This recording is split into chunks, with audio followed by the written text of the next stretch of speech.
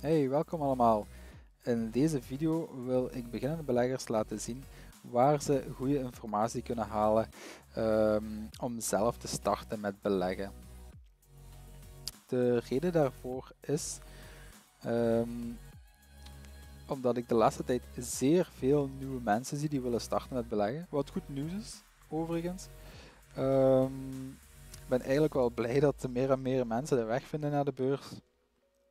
Um, maar het probleem is dat ik zie dat veel van die mensen, um, omdat ze de kennis niet hebben, nog niet hebben, uh, vind ik dat ze een gevaar lopen om zich te laten meeslepen in, ja, in de fabeltjes die tegenwoordig ja, alom verspreid zijn op social media. Um, je ziet heel veel uh, ja, beleggingsgoeroes de laatste tijd. Gewoon echt mensen die zeggen dat ze, ja, dat, dat, ze, dat ze het wiel opnieuw hebben uitgevonden, of weet ik veel wat, dat ze een geheime tradingstrategie hebben die 100% gegarandeerde winst oplevert, die werkt, waar je niks voor moet doen. Ja, I hate to break it to you, maar die dingen, dat is gewoon allemaal fake. Uh, er zullen wel mensen tussen zijn die het echt goed menen, uh, maar de overgrote meerderheid is gewoon fake en die zeggen van kijk, koop mijn programma, doe, uh, ik veel wat, koop mijn uh, dingen, koop mijn e-book, volg mijn stappen, doe dit, doe dat en je, je zit, ja, en je gaat rijk worden. Daar komt het op neer. Koop dit, volg mijn programma en je wordt rijk. Oké, dus voor eens en altijd aan alle beginnende beleggers, die dingen zijn gewoon fake. Er is geen. Uh, there is no free lunch in investing. Er is niets dat, dat gratis is. Er is niets dat gemakkelijk is. Als er een methode was om snel rijk te worden, ten eerste, dan zou dat niet zomaar op internet staan. En ten tweede, dan zou die persoon wat die methode gevonden heeft, daar ook niet mee te koop lopen. Allee, ik weet niet hoe jullie zijn, maar dat zou ik toch nooit doen. Uh, dus bij deze, wees gewaarschuwd. Er is heel veel. Um, ja, er zijn heel veel fabeltjes te vinden, heel veel dingen die fake zijn, vervalste afbeeldingen, noem maar op. Je kunt het zo gek niet bedenken. Als het is om geld uit je testen te halen, dan zijn ze daar. Dan doen ze alles. Dus let ermee op. Een gewaarschuwd man is er twee waard. Oké, dan gaat je nu waarschijnlijk afvragen, waar kan ik dan wel naartoe gaan? Waar kan ik mee beginnen? Welke bronnen zijn, um, ja, zijn betrouwbaar? Uh, je ziet dat ik mijn website heb openstaan. Dus voor beginnende beleggers zou ik zeggen, begin met de startersgids die ik ineen heb gestoken. Um, Oké, ik hoor u nu al denken.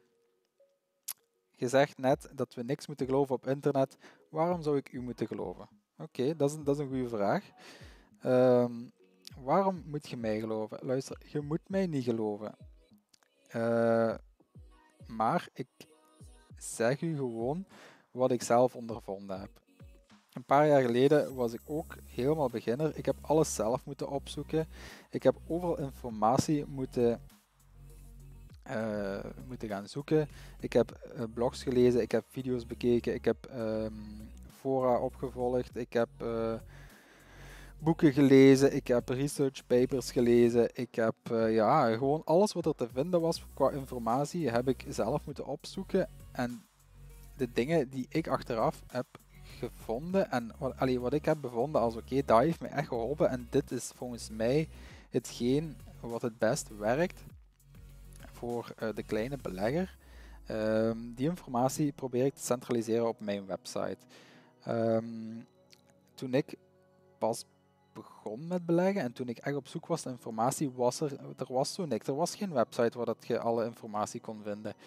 Uh, dus dat is in principe het doel van mijn website. Alles is ook gewoon gratis. Uh, het is niet dat ik iets probeer te verkopen of probeer te pushen. Uh, het enige wat ik op mijn website heb is hier en daar een advertentie. Maar dat is alles. het enige wat ik daarvan ontvang zijn een aantal euro's per jaar. Uh, misschien genoeg om uh, het domein en de hosting te betalen, maar that's it. Al de rest is gewoon, um, ja, het is gewoon gratis. Um, dus voor beginners, deze startersgids. Uh, ik begin echt bij de basis. Wat is de beurs? Wat is beleggen? Waarom moet je beleggen? Hoe werkt de economie? Wat zijn de, uh, de rentestanden en zo? Wat is, uh, wat, wat is de, de, de rol van de centrale banken? Um, eigenlijk alle informatie die je nodig hebt voordat je kunt beginnen met beleggen, heb ik hierin proberen samen te vatten. Uh, wat zijn aandelen, wat zijn obligaties, wat is het verschil tussen beleggen en speculeren, welke risico's zijn er aan beleggen. Um, normaal gezien staat het meeste hierin. Toch het essentiële. Dus ik zou zeggen, zijt je een beginnende belegger, begin met deze startersgids. Uh, ik denk dat je dan echt wel goede stappen aan het zetten bent om zelf te beginnen met beleggen.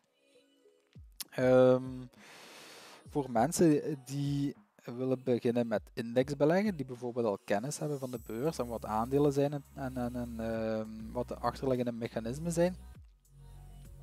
Uh, als je zegt van ik wil meer weten over indexbeleggen, heb ik nog een, een aparte pagina uh, leren indexbeleggen. Uh, deze pagina is eigenlijk gebaseerd op de beleggingsprincipes van de Bogleheads. Wie zijn de Bogleheads? De Bogleheads zijn dus mensen die beleggen volgens um, de regels van Jack Bogle. Wie is Jack Bogle? Jack Bogle is de oprichter van Vanguard. Dus dat, zijn, dat is eigenlijk in principe, ja, hij was niet de eerste, maar hij is wel degene die het indexbeleggen um, ja, naar de gewone mens gebracht heeft. Hè. Hij, hij, was niet de uitvinder, want er waren andere mensen die het uitgevonden hebben, maar hij heeft dan het concept genomen en gecommercialiseerd, waardoor dat het eigenlijk nu uh, vrij beschikbaar is voor uh, de kleine beleggers. Dus ook hier, uh, hier heb ik een korte inleiding geschreven, dan kun je best beginnen met dit artikel. Daarin leg ik uit wat indexbeleggen of ETF-beleggen eigenlijk is en waarom dat het werkt. Want dat is wel een belangrijk. Hè? Ik kan je dat wel allemaal zitten verkondigen, maar als je niet weet waarom dat, dat eigenlijk werkt, hoe dat is ontstaan, waarop dat gebaseerd is, ja, dan uh, weet je niet waarom je aan iets doet en dat is geen goed nieuws. Uh, daarna begin ik met een artikel over wie de Bogolets zijn en wat hun strategie eigenlijk is. Um, en dan volgen de 10 stappen dus van de Bogolets filosofie. Um, de 10 stappen die op mijn website staan, heb ik vertaald. Allee, dus ik heb die stappen bekeken in het Engels en ik heb die dan overgenomen in het Nederlands. Ik heb niet alles vertaald, ik heb eigenlijk enkel de essentie overgenomen en daar dan een artikel over geschreven. Um, als jij zegt van ik wil hier nog meer over weten, Engels is voor mij geen probleem, ik kan goed Engels, dan raad ik u aan van naar de Bogleheads website zelf te gaan. Uh, dat is deze website. Dit is hun wiki.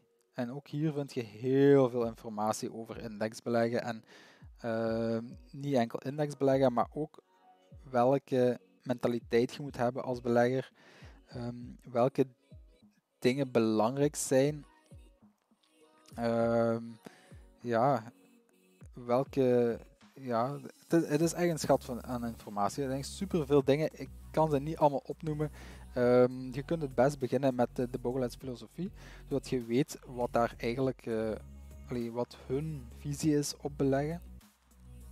Uh, en dan daarna kun je verder gaan. Hè. Ze hebben bijvoorbeeld uh, start-up kits over investing, uh, over dus personal finance planning dingen. Um, dus dat is allemaal zeer, zeer interessant. Dus hier kunt je echt wel eens goed laten gaan, want het is echt veel informatie die je hierop uh, kunt vinden.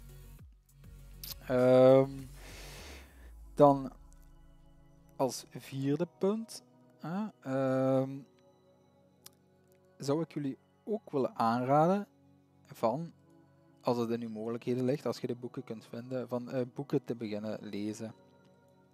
Van alle informatie die er beschikbaar is, zijn boeken nog altijd het beste. Uh, Waarom? Je zit zeker van de bron. Uh, je weet wie het geschreven heeft. Je kunt die persoon na zijn, zijn achtergrond checken. Je weet wat en hoe. Uh, dus boeken zijn wat mij betreft een van de betere vormen van, uh, van informatie die er te vinden zijn. In deze post heb ik er vijf uh, opgelijst. Uh, ik heb nog een andere post waar ik nog meer boeken in heb opgeleid. Die vind je overigens ook in die startersgids. Uh, dus dat is toch ook wel de moeite waard om eens naar te gaan kijken. Als je graag uh, leest. Ehm, en dan als laatste, als er dingen zijn die echt nog niet duidelijk zijn, zou ik zeggen, stuur me een bericht. Laat hier een comment achter onder deze video. Uh, contacteer me via social media. Ik heb Facebook, ik heb Twitter, ik heb Instagram, LinkedIn, uh, ja, YouTube. En uh, stel dat je geen social media hebt, kun je nog altijd op mijn website terecht. Je gaat hier bij meer en dan gaat je naar contact. En dan kun je hier via het uh, contactformulier mij een bericht sturen. Um, dus ik zou zeggen, aarzel niet als je nog vragen hebt. Neem contact met mij op als er dingen zijn die je graag nog wilt weten, waar je iets, nog, of iets wat je nog niet helemaal begrijpt, waar je nog wat info over wilt, wilt hebben of zo, laat me iets weten. Ik zal mijn best om u te helpen. Um, dus ja, en dat was dus uh, in het kort deze video. Ik hoop dat, uh, dat jullie er iets mee zijn. Als er nog dingen zijn, opmerkingen of vragen of zo, laat gerust een uh, comment hieronder na. En dan wens ik jullie nog een heel fijne dag voor de rest.